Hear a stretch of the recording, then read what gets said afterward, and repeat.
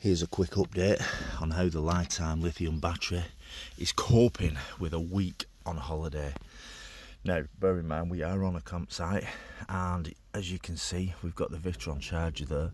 Now, it's not acting as a charger, and it's not been acting as a charger for four days now. It is literally just taking uh, power from that box on the site straight round to the cable there, and then that is distributing the electric around the camper van.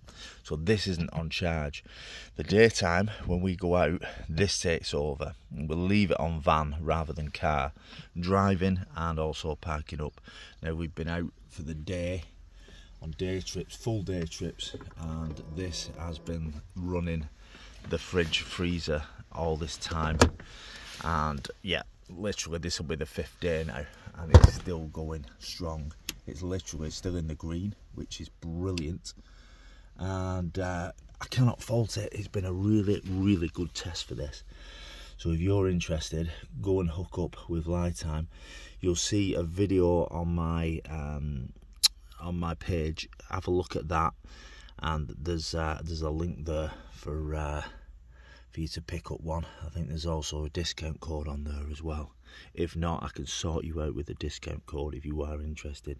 But yeah, four days in and it's still going strong.